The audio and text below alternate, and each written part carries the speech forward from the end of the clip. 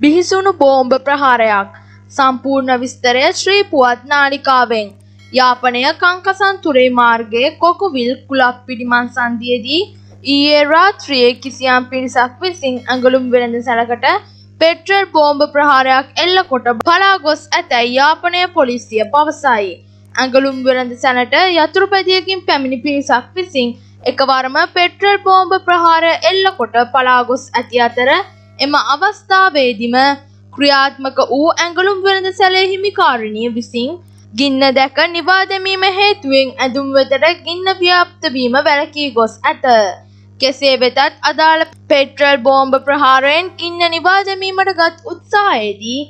අදාළ කාන්තාවට සුළු තුවාල පමණක් සිදුව ඇති අතර පෙට්‍රල් බෝම්බ ප්‍රහාරය එල්ල කළ පිරිස් සොයා පරීක්ෂණයක් අරබා ඇතැයිද යාපනය පොලිසිය වැඩිදුරටත් පවසයි.